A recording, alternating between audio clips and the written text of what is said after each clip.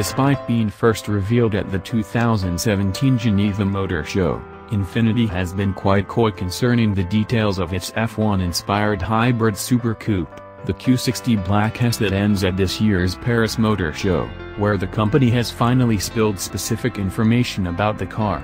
It's technologically fascinating, even if the on-paper performance doesn't sound all that shocking. Total power output of the concept, now called Q60 Project Black S, is 563 horsepower, with final torque figures yet to be announced. That power comes from a combination of the twin-turbocharged 3.0-liter V6 found in the Q60 Red Sport 400, along with a trio of motor generator units that have similar functionality as those found in the Renault Sport F1 car's KERS, Kinetic Energy Recovery System. One large one is connected to the rear axle and generates electricity under deceleration like most hybrids, and it can deliver 160 horsepower under acceleration. The other two motor generators are coupled to the turbochargers. They generate power under acceleration as the turbines spin. They also act as an electrical anti-lag system, spinning up the turbines when hitting the throttle again after it has been closed in order to provide maximum boost immediately power for and from these motor generators is stored in a 4.4 kWh lithium-ion battery pack. All the powertrain's power goes through a 7-speed automatic transmission to the rear wheels via a mechanical limited slip differential.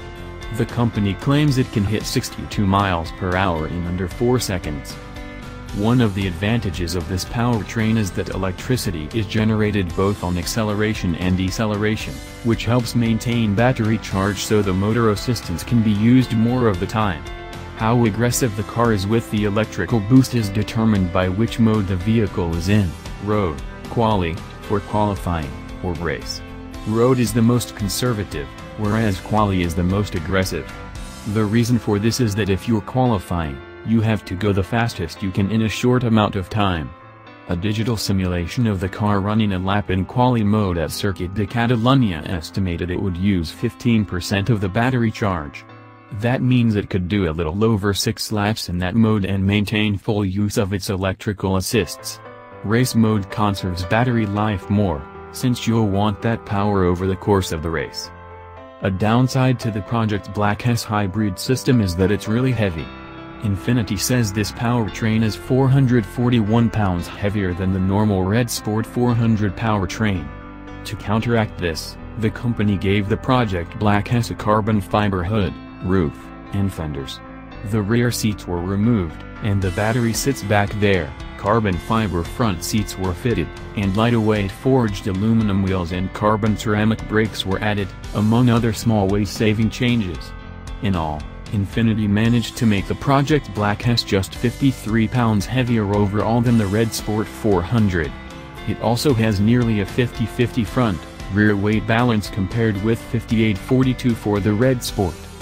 Aerodynamically, the Project Black S has a number of mechanical tweaks compared with the regular Red Sport 400.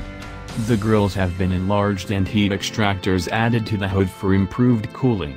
The rear wing adds more downforce, and it was modeled after the wing design used on the Renault Sport F1 car for the Monza circuit. Infiniti says it has gone through a few wing designs, though, so it may change yet again. Another high-tech aspect of the car is its control scheme. Everything is done electronically. It has throttle by wire, steering by wire and braking by wire. Infiniti notes that a particular advantage of brake-by-wire is that it can provide a consistent brake feel while blending regenerative and mechanical braking.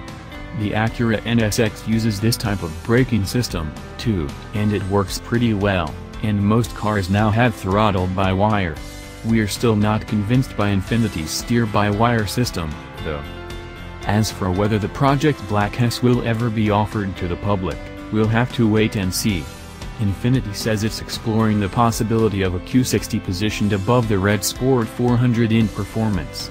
It would also complement the company's plans for offering electrified versions of all its models starting in 2021.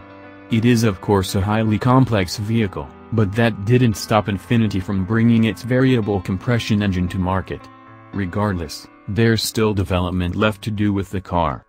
Infiniti says it will begin track testing of the Project Black S in 2019.